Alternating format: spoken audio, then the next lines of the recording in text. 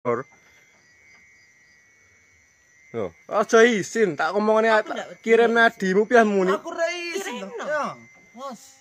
Yo, berarti ki wis tega ya karo aku ya. Eh? Wis tega san. Pengen pisah karo aku berarti ya. Kowe mergo wis gendaan karo Darno, konangan poncotan. Piye? Iya. Serius tenan apa? Iya. Demen karo Demen. Lah mumah-mumah karo kotip selama pirang-pirang tahun terus saiki awak muda menyesal. Enggak. Karo anakmu sing lorak-lorak mbedino kok pakani karo kotip muda menyesal. Iya anak takku. Lah masalah terserah. Aku ki ning kene iki saiki dadi warga wi. Awakmu ning kene pun dadi wargane wong mataku. Aku pamit bentar ya. Wih. Padahal aku ndak gawe, berarti sing kan awakmu dhewe ta saiki. Sing gawe kan awakmu dhewe ta saiki. Wis saiki ndak isin karo lingkunganmu kabeh ketemu bahasa ini.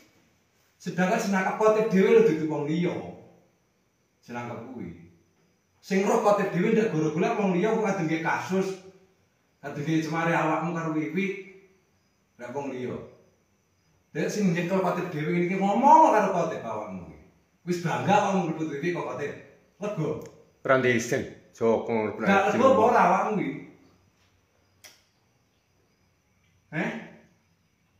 Lah kok meneng aku takok nang awakmu kuwi. Ngono, ora apa. Wis lega. Bangga kuwi Eh?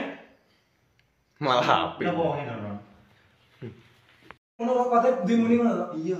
Piye eleng-eleng mikir anak bojone cok. Aimu iki lek muni ngono kuwi. Iya, no. Aku eleng nutupi Aku dewasa to no. Piwe ra wis anu lek. Dewasa lah utekku karo utekmu.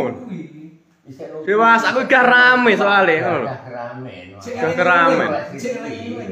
Lek lapor sing gak anu ki kotek. Nek lek kaedan ora nek buktine no. Soalnya aku lamun mulan aku ndanyang ora nek buktine. Ming keramen kesuwen. Kakek lakon nek lek kaedan nek buktine, izin iki. lek nek buktine Awakmu isin, saiki bangga awakmu sama bangga.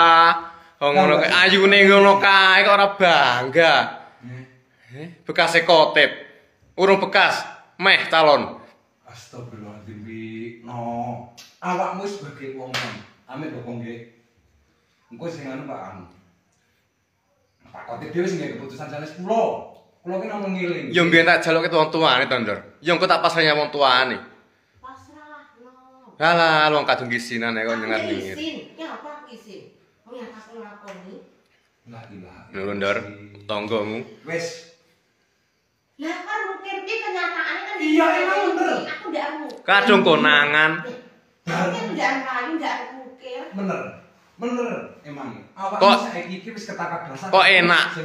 Kok kolu? Ijek untung-untungnya apa ngelatih keprok cangkem kuwi nang kote. Ah, mana tak kepruk raine karo wong loro gepruk ning ngono ora mentolo. Ijek untung-untungnya awakmu. Mergo enek tunggal enek undang-undang barang ki.